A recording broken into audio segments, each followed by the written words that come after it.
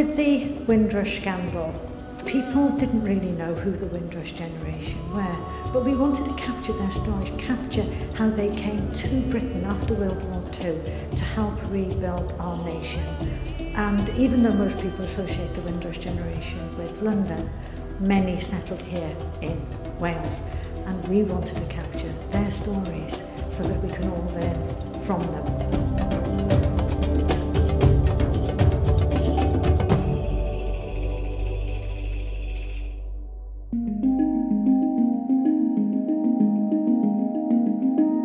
This exhibition will be touring Wales and so people can understand the diversity of Wales and that people have been contributing from all different backgrounds to the economic, cultural and social development of Wales for generations.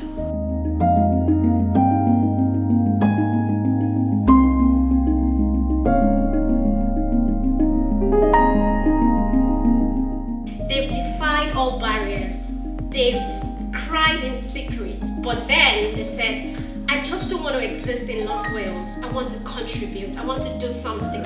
I'm here to read about their stories, to learn about the great work they've done here in Wales and in Great Britain at large. We are really grateful, and that's why I'm here. I think it's important for me because it enables me to to be part of the shared history, you know, people who contributed to make this nation what it is today that I enjoy. I thought it was nice to come and pay them homage in that way. The world will not be destroyed by people who do evil, but by people who sit and do nothing.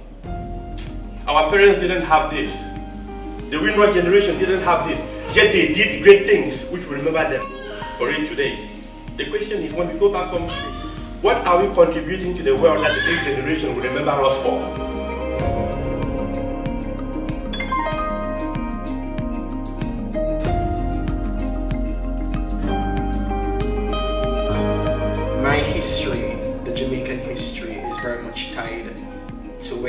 Wales. My grandfather is actually from a small community where the owners of the family of the Penrhyn Castle estate, they, they actually used to own the land there. If we can have more people, more black people to come to this, I think it would be better because Wales is a very ni- Wales is a very nice place, and here we're like families. But thank God, things have changed a lot because we, as the community, not only the black, but even the locals, see us as we are part of that.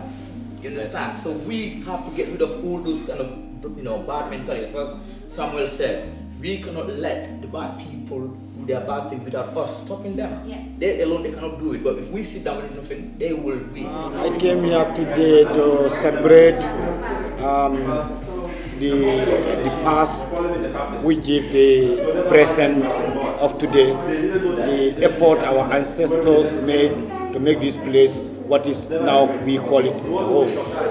It's amazing um, to see that the change started with someone that spoke out, and it's amazing to see that there's always something to learn from someone. So I'm glad to be here.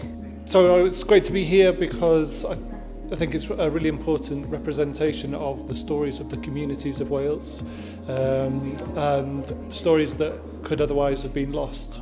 I am very opportune to get the chance to understand and know what it's really about and to thank the people behind it. Not all not all heroes wear capes, but heroes of this Windrush are of different colors and they've made our lives better. Thank you very much. I just think this is an amazing event to come to to um, explain the history of Windrush, uh, to understand the situation of how it uh, still persists today in this modern age, and to get context and understand diversity and how um, wonderfully um, the wonderful contributions that people have made to our society within Britain and within Wales.